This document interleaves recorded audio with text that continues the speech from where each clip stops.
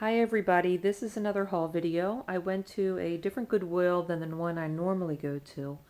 Um, this one is not as big and the prices, a lot of the prices are overpriced, but I still managed to find a few things that I like.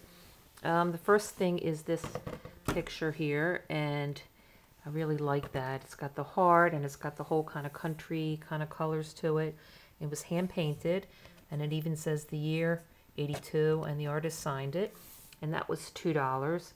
And then for $3, I got this framed picture of a palm tree, and that will go perfectly in my living room because I have a tropical decor, and I have a few pictures already that have the palm tree.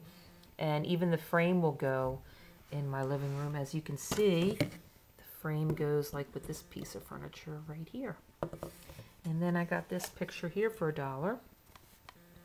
It was painted on an old-fashioned slate chalkboard and it's got three things that I like, hearts, cats, and the country kind of decor colors. And this figurine here was $3 and I really like that. I think it's so pretty and she's writing I love you on that. It says handmade in Hawaii and you can even see the sticker it says $12 from Honolulu and the sticker kind of looks like it's from the 70s or maybe early 80s and it's really pretty and like that. And that was a nice buy for three dollars I thought. And then this is a travel toiletry bag. It's got um, cruise ship picture on each side. And it's got like a lot of room for your stuff and a little handle. I thought that was nice for two dollars and this was also $2 because it was half price. All the Easter baskets were half price.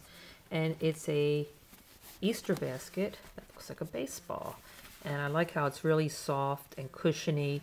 And it's got like real stitching here. And it says home run. And I'm going to give this to a friend of mine because she loves baseball and she likes Easter baskets. So she'll love that. And I thought that was Goodbye for $2.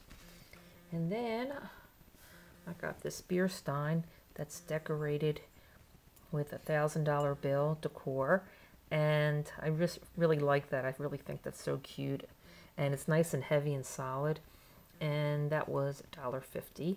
So I think all in all, I think it was a very nice little haul.